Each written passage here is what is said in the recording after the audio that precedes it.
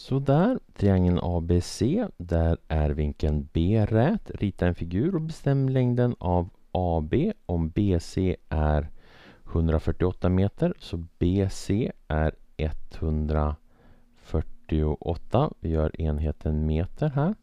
Och vinkeln A, den här vinkeln är 57,2 grader. Så.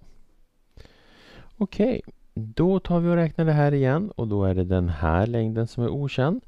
Och då får jag tangens för 57,2 är lika med motstående katet 148 genom närliggande katet som är x. Så jag tar och multiplicerar med x på båda sidor.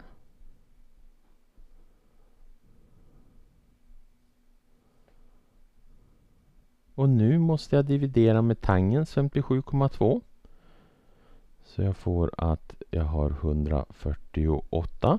Och sen delat med tangens 57,2. Så ska det stå grader där, grader där och grader där. Så.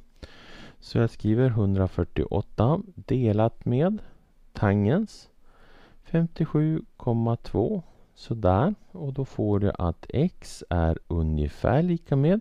Och så får jag fundera på hur många värdesiffror jag ska ha. Och jag kan ta här och eftersom att jag har tre värdesiffror där och tre värdesiffror där så skriver jag 95,4 där. Så svar AB är 95,4 eh, meter. 95,4 meter. Så.